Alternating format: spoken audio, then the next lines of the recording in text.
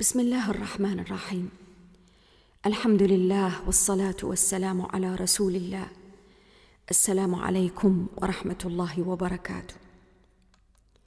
يقول الله عز وجل في سياق الحديث عن الكفار من بني إسرائيل وهو يصف أقبح الصفات التي اتصفوا بها.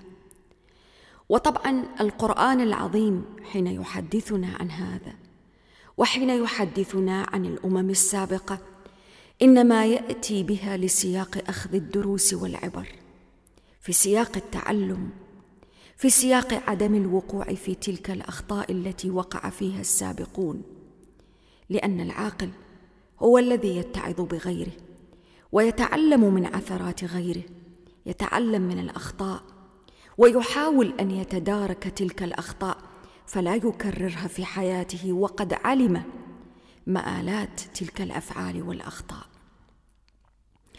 القرآن العظيم في سورة المائدة في هذه الآية الكريمة التي يقول فيها كانوا لا يتناهون عن منكر فعلوه لبئس ما كانوا يفعلون.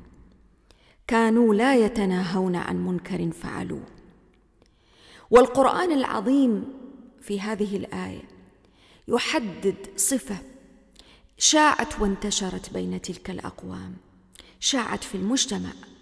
ما أصبحت مجرد عمل فردي فالقرآن يستعمل في مواضع أخرى كلمة ينهون.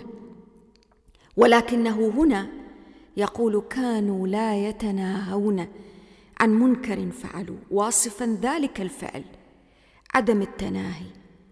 وعدم التناهي هنا يوضح لنا من سياق الكلام أنه الذي ينبغي أن يكون أن يصبح إنكار الخطأ وعدم إعطاء الشرعية للأخطاء لما قبحه الإسلام لما يقبحه وينكره العقل السليم الصافي الرشيد النقي الذي يتدبر في عواقب الأمور ويربط بين تلك المآلات بما جاء في كتاب الله عز وجل. حين لا يصبح ذلك تفاعلا في المجتمع. حين يرى أفراد المجتمع البعض منهم وهو يزاول اعمالا مشينة قبيحة لا يقبل بها الشرع أنكرها الشرع العظيم زجر عنها نهى عنها.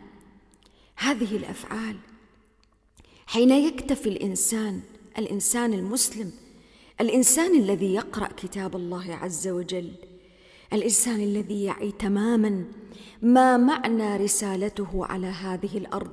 يرى الأخطاء يرى القبائح يرى المنكرات من فحش في القول من فحش في الفعل من تصرفات دنيئة من مخالفات صريحة لشرع الله. ولكنه يأبى إلا أن يلوذ بالصمت مبررا لنفسه عشرات التبريرات. وما أكثر التبريرات في حياتنا.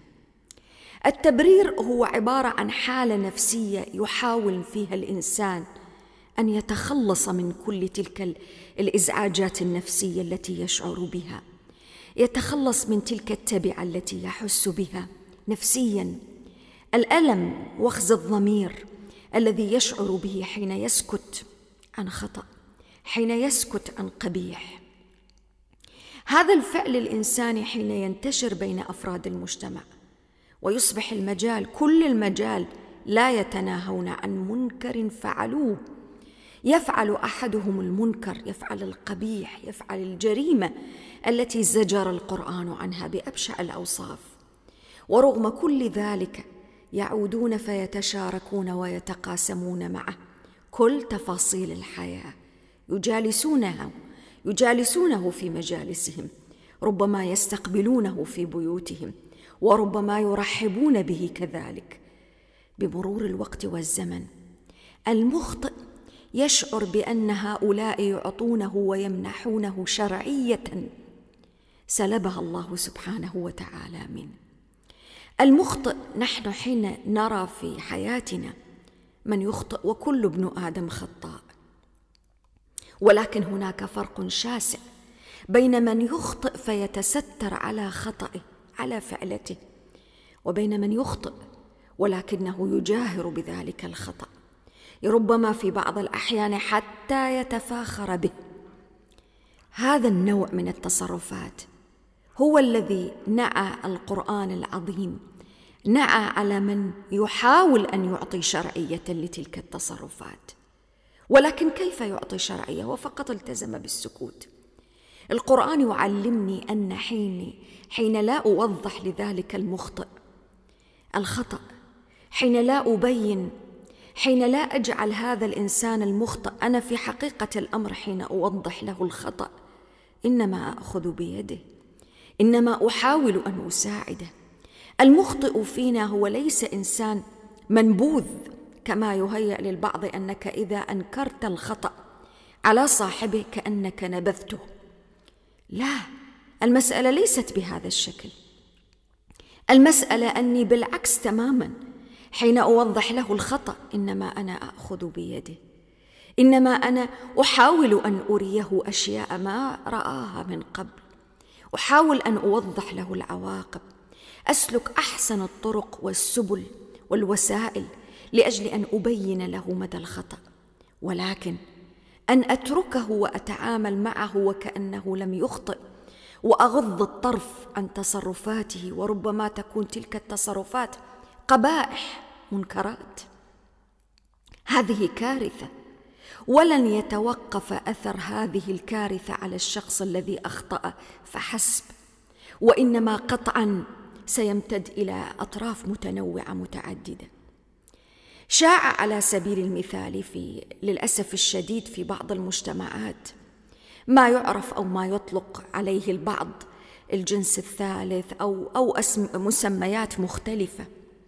أصبح وجودهم لا نقول أنه شائع جدا الفضل لله لا تزال بعض المجتمعات فينا.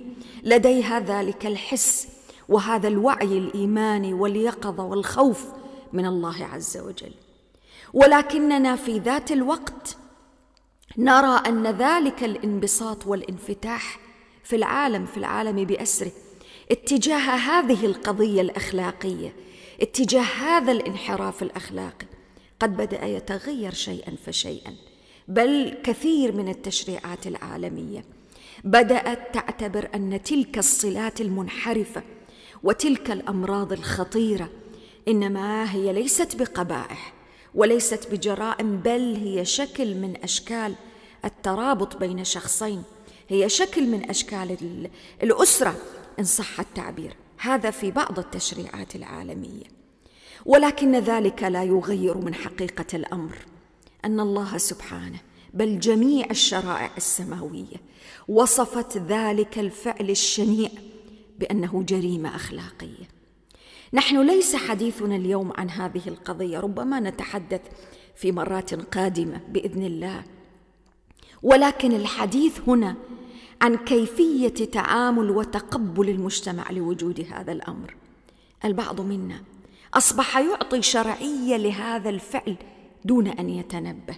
يتعامل مع هذه الأطراف بشكل اعتيادي جدا وكأن الأمر مقبولا في حين أن الأمر شاذا. ومنحرفا. وقد يقول قائل ويتساءل وماذا نفعل؟ نخرجهم؟ ماذا نفعل بهم؟ ننبذهم؟ لا نتعامل معهم؟ من قال أن الأمر إما أبيض وإما أسود. القرآن بيقدم لي منهجية في التعامل مع الانحرافات والأخطاء. تلك المنهجية التي سار عليها النبي لوط عليه السلام في التعامل مع قومه. توضيح الأمور عدم السماح بإعطاء أي شرعية لذلك الأمر وثمة أمر نغفل عنه تماما أننا حين نتقبل الأخطاء والانحرافات إنما نعطيها شرعية تتكلم بصمت لأبنائنا ولشبابنا ولبناتنا أن ذلك الفعل ممكن أن يكون مقبولا منهم. ربما لم نشعر بضخامة الأمر. ربما لم ننتبه إلى جسامة الجريمة. ربما لم ندرك تماما ما مدى الآثار السلبية الفظيعة المترتبة على ذلك الفعل. فعل السكوت السكوت السلبي الذي بات فعلا يقتل المجتمعات يقتل الحس والوعي بالمظاهر المختلفة. ربما لم نعي ذلك. ولكن القرآن العظيم في هذه الآية يؤكد أن من أكثر الأعمال شناعة أن لا يتناهى أفراد المجتمع عن المنكر فيما بينهم بأحسن الأساليب بأجمل الطرق ولكن في ذات الوقت لا يمكن أن يكون السكوت هو الحل بل السكوت هو الداء. نلقاكم بإذن الله. السلام عليكم ورحمة الله وبركاته.